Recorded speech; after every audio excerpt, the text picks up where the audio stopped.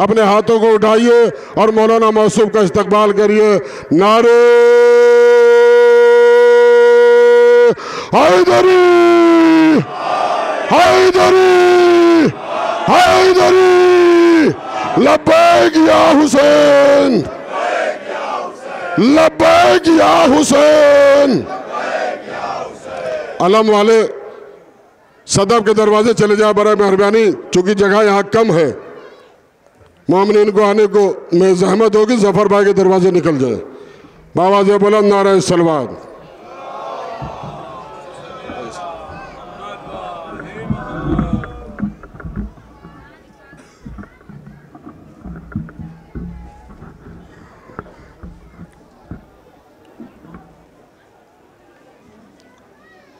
फातिहा।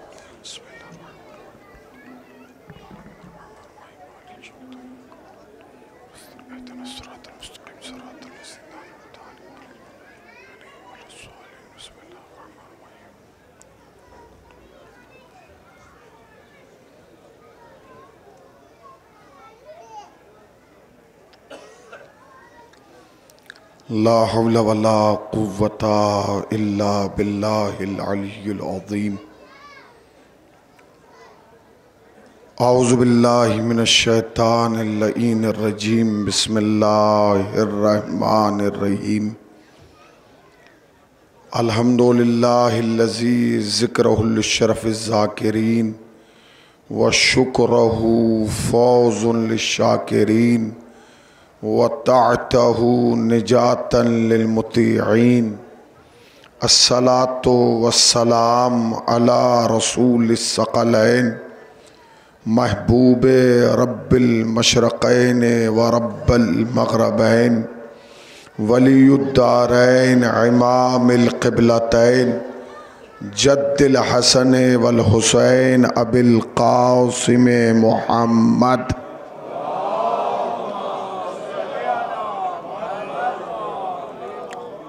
अम्मा बादो फ़कत काल्लाह हक सुबहानहु तबारक व ताला व कौलुल वमा तशाऊना अल्लाह। सलावत पढ़ते पर मोहम्मद वाल।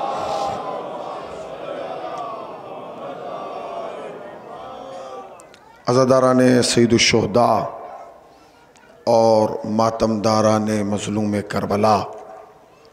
जो जहाँ बैठा है, जहाँ खड़ा है, जहाँ है, वो यकीनन कहीं ना कहीं इबादत में मसरूफ़ था।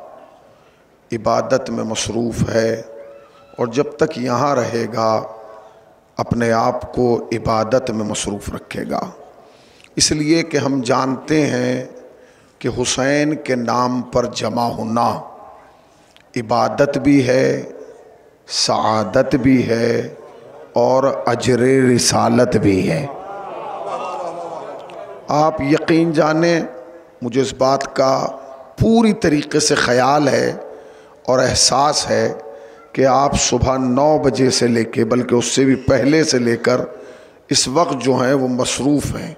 और अभी इसके बाद भी मसरूफ़ अज़ा रहेंगे। ये इंसान की ताकत से बाहर है। अगर इंसान तीन घंटे मुसलसल एक चीज़ बैठ के देख ले या सुन ले या गौर फ़िक्र कर ले तो उस तीन घंटे के बाद उसे राहत चाहिए, सुकून चाहिए।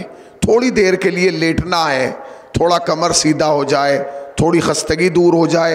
ये हुसैन का मौजज़ा नहीं है कि सुबह से आए हो और सूरज छुपने तक जहाँ मजलिस होगी, जहाँ ज़िक्र होगा, जहाँ मातम होगा, जहाँ नाम हुसैन लिया जाएगा, बग़ैर जिस्म की थकावट की परवाह किए हम लोग बढ़ बढ़ के पहुँच रहे हैं।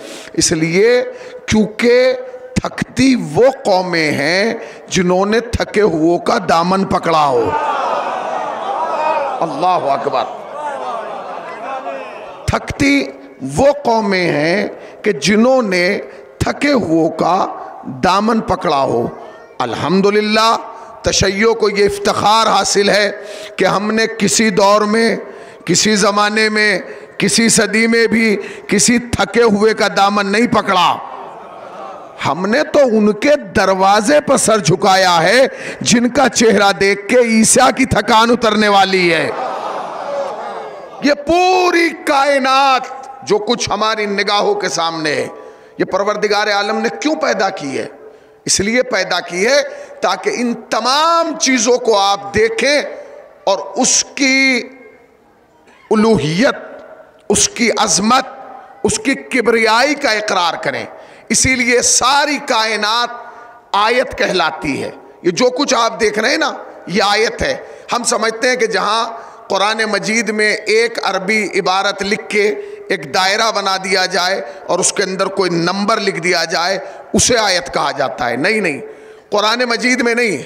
आयत के मानी है अलामत, आयत के मानी है निशानी, आयत के मानी है वो चीज़ जिसे देख के कुछ याद आए। नहीं पहुँचे आप। आयत के मानी है निशानी, अलामत, एक ऐसी अलामत जिसे देख के कुछ याद आए। अल्लाह ने ये पूरी कायनात आयत बनाई है।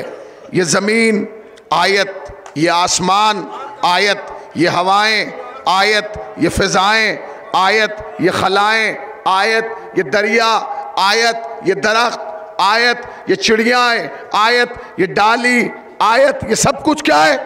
आयत है। इसका मतलब यह है कि अल्लाह चाहता यह है कि हम सब इन सब चीज़ों को देखें और अल्लाह को याद करें। ज़मीन को देखें, अल्लाह को याद करें। आसमान को देखें, अल्लाह को याद करें। सितारों को देखें, अल्लाह को याद करें। सूरज को देखें, अल्लाह को याद करें। चाँद को देखें, अल्लाह को याद करें। इस भरे हुए रन्नों के मजमे में मेरा एक सवाल यह है, कौन तुम में से ऐसा है जो सुबह को ज़मीन को देख के कहता हो, ज़मीन है तो अल्लाह है, सूरज है तो अल्लाह है चाँद है तो अल्लाह है, सितारे हैं तो अल्लाह है, एक भी नहीं। जानते हो क्यों? इसलिए कि अल्लाह ने तो ये सब बनाया था आयत। हमने बनाया है आदत। अल्लाह ने बनाया था आयत, हमने बनाया है आदत। ज़मीन आयत थी। हम इतनी मर्तबा चले कि आदत हो गई। सूरज आयत था। हमने इतनी मरतबा निकलते और डूबते देखा कि अब आदत हो गई। चाँद आयत था। हमने इतनी मरतबा देखा कि आयत हो, आदत हो गई। हमने सितारों को आयत से आदत बना दिया। यानी जो कुछ अल्लाह ने आयत बनाया था, इंसान ने उसे आदत बना दिया। अब आयत और आदत का फ़र्क बताऊँ? सुनिए। जो बार बार हो, उसे आदत कहा जाता है। जो एक बार हो और ज़िंदगी भर याद रह जाए, उसे आयत कहा जाता है। तकरीर का पहला जुमला कह रहा हूँ, आयत और आदत का फ़र्क यह है कि मच्छर का पैदा होना आदत है, मगर अगर बादशाह की मौत बन जाए तो आयत है। आए हाय, तुम्हारे सुनने पे सलाम है। मच्छर का पैदा बिखर के नहीं मिलके।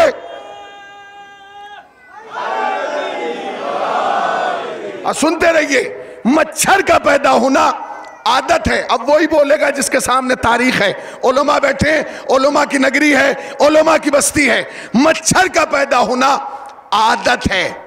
बादशाह के लिए मौत बने तो आयत है। टिड्डियों का पैदा होना आदत है। कौम के लिए अजाब बने तो आयत है। अबाबील का पैदा होना आदत है। हाथियों की मौत बने। तो बोलिए, नहीं, सिर्फ़ मिलके बोले। आयत है, फिर दोबारा दोहराऊं, ताकि आप मुतवज्जो हो जाएँ। मच्छर का पैदा होना आदत है। आदत है कि नहीं? बादशाह की मौत बना तो आयत बन गया। अब अबील का पैदा होना आदत है, मगर हाथियों की मौत बना आयत बन गया। अब जुमला कहूँ, सितारे का आसमान पे चमकना आदत है, अगर वो ज़मीन पे आ जाए तो वो अब आयत है।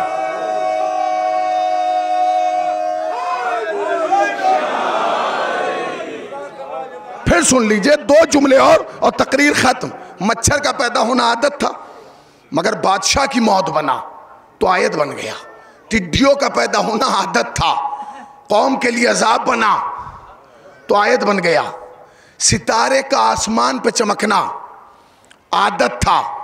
ज़मीन पे आया। तो आयत बन गया। जुमला कहूँ, अगर आप बेदार हैं, हर हुसैनी की तवज्जो चाहता है हुसैनी इस जुमले पर। घर में दरवाजे से आना आदत है। दीवार में दर बन जाए। आए आए।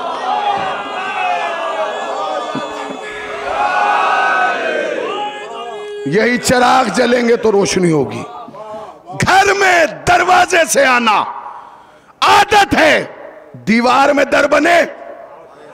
आप तो ऐसे खामोश बैठे हैं जैसे किसी के चच्चा के लिए दर बनाओ। हमें ये तो इफ्तार हमें है कि हमारे इमाम के लिए दर बनाए। अब जुमला फिर कहूँ, घर में दरवाजे से आना आदत है। दीवार में दर बने तो आयत है। आसमान से बारिश का आना आदत है। जुल्फकार आए। नहीं कहाँ बैठे हैं। तो बोलिए।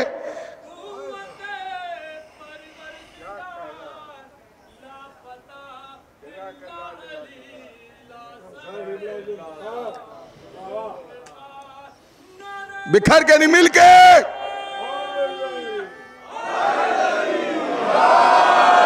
आज जब नारा लगाया करें तो दोनों हाथ उठाया करें। इसलिए कि जब गदीर में अली को मौला बनाया गया था तो दोनों हाथ उठाए गए थे। सुनिए सुनिए सुनिए। हाँ और किसी ने दो मिसरे भी कहे थे कि उड़ना है बुलंदी में तो उड़ना है बुलंदी में तो हाथों को ना बांधो। अब अगर कोई बॉडी लैंग्वेज भी नहीं समझ रहा तो मैं कैसे समझाऊं भाई? उड़ना है बुलंदी में तो हाथों को ना बांधो। टायर भी पर खोल के उड़ते हैं हवा में। अगर नमाज़ इश्क हुसैन में हाथ बंधे रह गए ना तो यहीं तक रह जाओगे, मेराज तक नहीं जाओगे। तो जब नबी ने खदीर में अली को मौला बनाया, मिंबर एक था, खतीब दो थे, उम्मत एक थी, रहबर दो थे, सुनने वाले एक थे, सुनाने वाले दो थे तो लोगों ने कहा कि या अली मुबारक तो कैफियत क्या थी? लोग आते थे, अली मिंबर पे थे या अली बखेन बखेन बखेन मुबारक मुबारक मुबारक। जो हाथ गदीर में यहाँ थे वो गदीर तक तो नज़र आए। गदीर के बाद आज तक हम दूरबीन लेके ढूंढ रहे हैं। पता नहीं कहाँ चले गए, कुछ यहाँ चले गए, कुछ यहाँ चले गए। कुछ यहाँ चले गए, कुछ कहाँ चले गए, यही वजह है कि अली के हर नारे पर शिया हाथ उठा के इसलिए जवाब देते हैं, या नबी अल्लाह, देख लीजिए, हम गदीर से भागे नहीं, कल भी गदीर वाले थे, आज भी गदीर वाले हैं।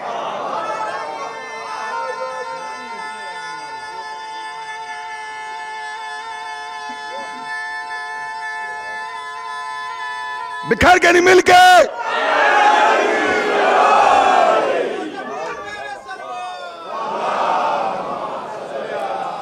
तो आयत और आदत का फ़र्क पहुँचा। बस दो जुमले कहना और तकरीर तमाम। मच्छर का पैदा होना आदत है। बादशाह के लिए मौत बने तो आयत है। टिड्डियों का पैदा होना आदत है। कौम के लिए अजाब बने तो आयत है। अबाबील का पैदा होना आदत है। हाथियों की मौत बने। तो आयत है, आसमान से बारिश का आना आदत है, जुल्फकार आए। तो आयत है, सितारे का आसमान पे चमकना आदत है, ज़मीन पे आए। तो आयत है, घर में दरवाजे से आना आदत है, दीवार में दर बने। तो आयत है, सर कट जाने के बाद खामोश होना आदत है। कोई नोके सिना पे बोल उठे।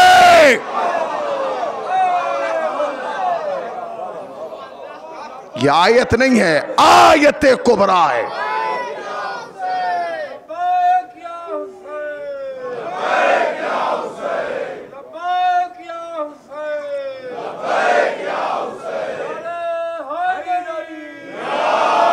हुसैन आयत नहीं है, आयत कुबरा है। हुसैन आयत नहीं है, आयत उजमा है। हुसैन वो है कि जिसने अपना सर देकर पूरी इंसानियत को बका दी है। जानते आप? जाइए, आप देखिए, हमारे नज़रियात नहीं है। कभी आप ये समझें कि शिया का नज़रिया है। बरदरान अहल सुन्नत भी ये कहते हैं कि हुसैन की शहादत हुसैन की नहीं है। रसूल अल्लाह की शहादत है। इसलिए कि रसूल ने फरमाया, हुसैन मिन्नी वाना मिनल हुसैन। तो भैया, जब तुम यहाँ तक पहुँच गए हो कि रसूल की शहादत रसूल की नहीं, हुसैन की शहादत है तो फिर ये भी तो कहो ना कि जब रसूल की शहादत, हुसैन की शहादत रसूल की शहादत है तो फिर आगे बढ़ के कहो, हुसैन का कातिल रसूल का कातिल है। है कि नहीं? कहाँ तक तुम इन शख्सियतों को क्रेनों से उठाओगे, बेसाखियों से उठाओगे। नहीं, याद रखना, तशैयों ने जिस पे लानत कर दी है ना, वो क़यामत तक लानती रहा है। उसे कोई बुलंद नहीं कर सकता। ये तो ज़माने का इनकलाब है कि कल तक तुम उस पर लानत करते थे, अब उसे भी रज़ी अल्लाह बना दिया। बनाया कि नहीं? यह हैफ है, ये सिर्फ़ इसलिए कि तशैयों को तकलीफ़ होगी। तशैयों को तकलीफ़ नहीं हुई है। तुम्हारे इस अमल से हमने पूरी तारीख का जायजा ले लिया है। कैफियत को महसूस कीजिएगा, इतना बड़ा मजमा एक जुमला कहना चाहता हूँ। कभी तुमने सोचा, हुसैन इल्म लदुन्नी का वारिस है। हुसैन हर चीज़ को कायनात को पहचानते हैं कि कायनात में नशेब क्या है फराज क्या है, बुलंदी क्या है, पस्ती क्या है, हर चीज़ को जानते हैं।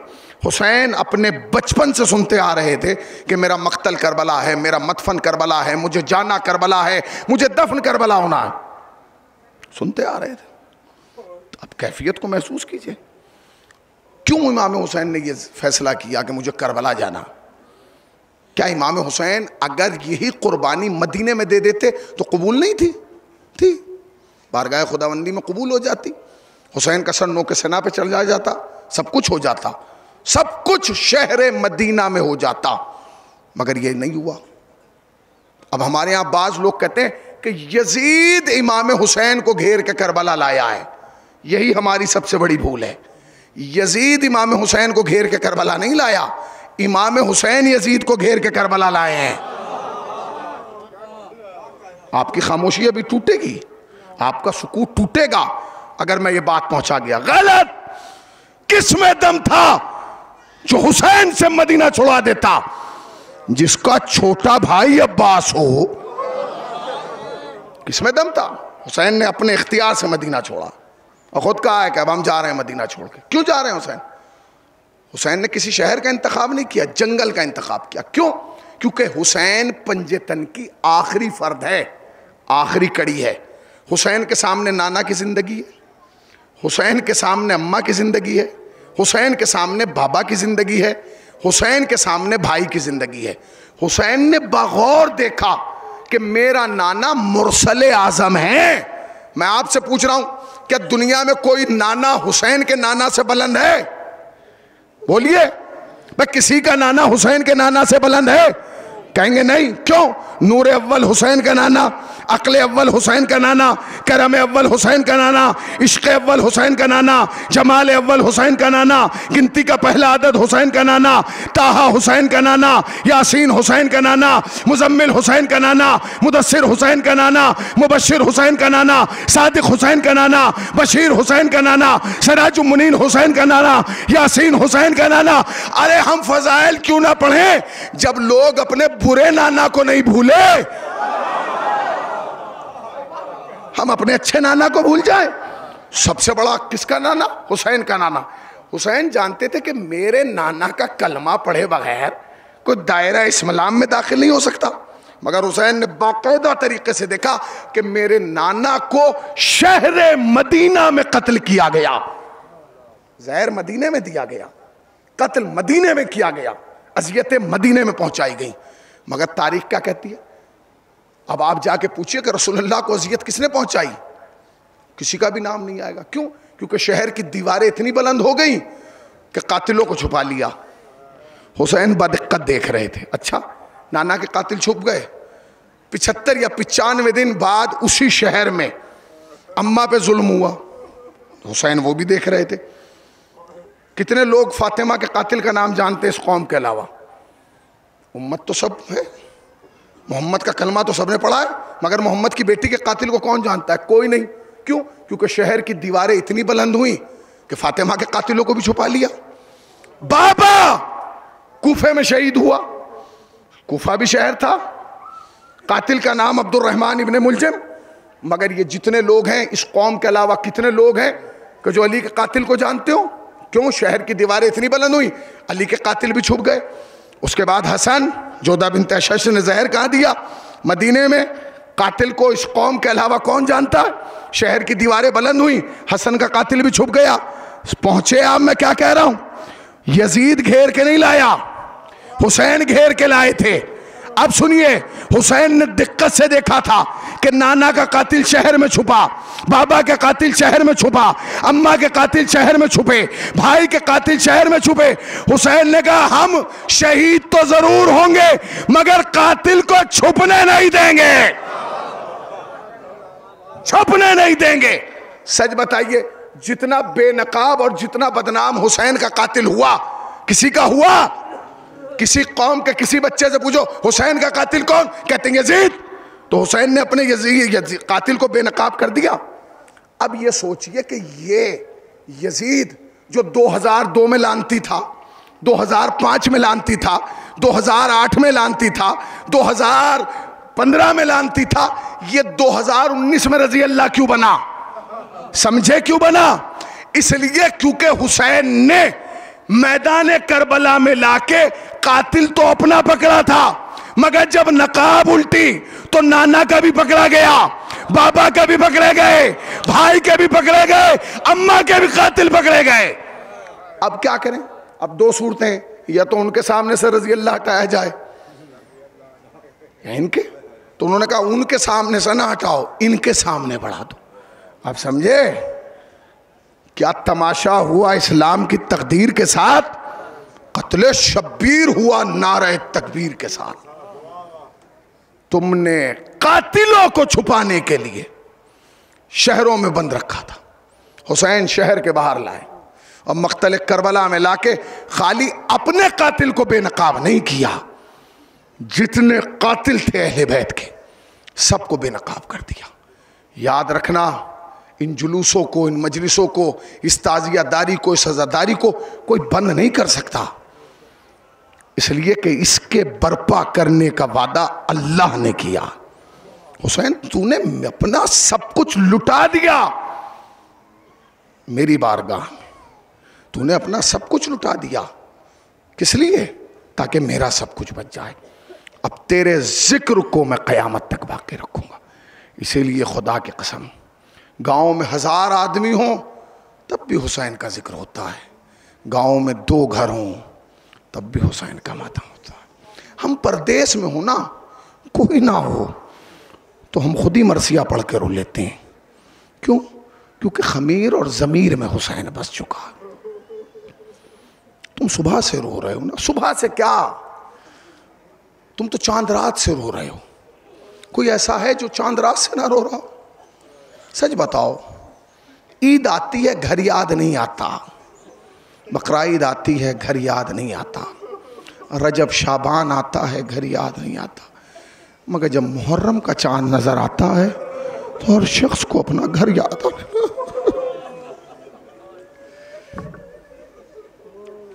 क्यों याद आ रहा है घर? इसलिए कि करबला का बहुत गहरा ताल्लुक है परदेसियों से।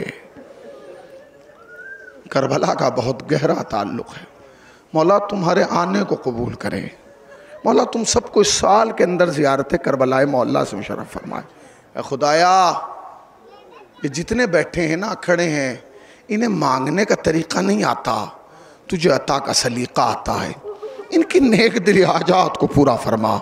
उलमा हक का साया सरों पर बरकरार फरमा। जानते हो भाई एक रिवायत मुझे पढ़ना है। उसके बाद कुछ नहीं पढ़ना। मैं मजलिस ख़त्म कर दूँगा। जानते हैं कितने गरीब हैं हुसैन? तुमने एहसास किया? कितने गरीब हैं? मैं बस एक रिवायत पढ़ूँगा। रिवायात में मिलता है कि जब ये काफिला मदीने से करबला आया तो इसमें चौंसठ बच्चे थे। तुम्हारे रोने में कोताही ना हो। इसलिए कि तुम अगर सुबह क़यामत तक भी रोए ना, पानी के आँसू रोगे। सज्जाद जब रोया, खून के आँसू रोया। और ये कह के रोया, बाबा! आपको रोने का हक अदा नहीं हुआ। ए मेरे गरीब बाबा, आपको रोने का हक अदा चौसठ बच्चे आए थे। सिक्सटी फोर, जब काफिला मदीने से करबला आया था। मगर सुनोगे, कलेजा फट जाएगा। जब ये काफिला वापस करबला से मदीने गया ना तो सिर्फ़ चार बच्चे बचे थे। कहा गए? मैं तो पढ़ चुका मसाहिब क्या इसके बाद भी मसाहिब की ज़रूरत है? जब आया तो चौसठ बच्चे थे, जब वापस गया तो सिर्फ़ चार बच्चे थे। उठाइए मख्तल। कितने बच्चे हैं जो मख्तल में गए हों, तलवारों का मुकाबला किया हो, तीरों का मुकाबला किया हो, नेज़ों का मुकाबला किया हो? दो या तीन बच्चे हैं जिनका तस्करा मख्तल में मिलता है। तो ये साठ बच्चे कहाँ मारे गए? कहाँ मारे गए? मीसा मैसर कहते हैं कि जब ये काफिला ग्यारह मुहर्रम को चला ना, चला है करबला से तो कैफियत क्या थी? खातन को अब ये तो तुम हमारी देख रहे हो ना, ये एहतराम है। ये इकराम है, ये ताजीम है। मगर जब ग्यारह मुहर्रम को काफिला गया था तो अमारियाँ नहीं थी। बगैर अमारियों के बीबियों को ऊंटों पर बिठाया गया। अब एक जुमला कह रहा हूँ, जैसे चाहे मातम कर लेना।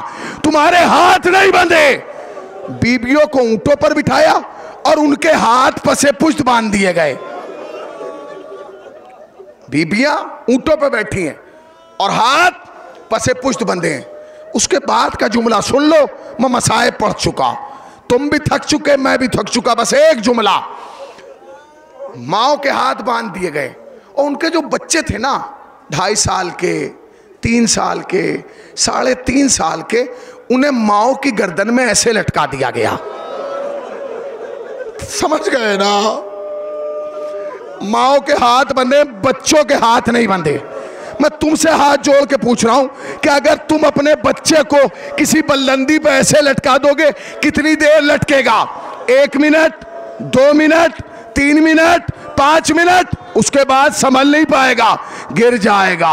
बस समझे? माओ के हाथ तो बाँध दिए गए और माओ की गर्दनों में बच्चों को ऐसे लटका दिया गया और सिमर कमीने ने हुक्म दिया, ऊंटों को दौड़ाओ। जब ऊँट दौड़ते थे तो बच्चा आहिस्ता से माँ के कान में कहता था, अम्मा, मेरे हाथ छूट रहे हैं। अम्मा, मेरे हाथ छूट रहे हैं। माँ कहती थी, मेरे लाल, मेरे हाथ बंधे हैं। अम्मा, मेरे हाथ छूट रहे बच्चे के हाथ छूटते थे। बच्चा ज़मीन पे गिरता था। पिछले ऊँट का पाव बच्चे की कमर पे। अम्मा, खुदा हाफिज। अम्मा Wow!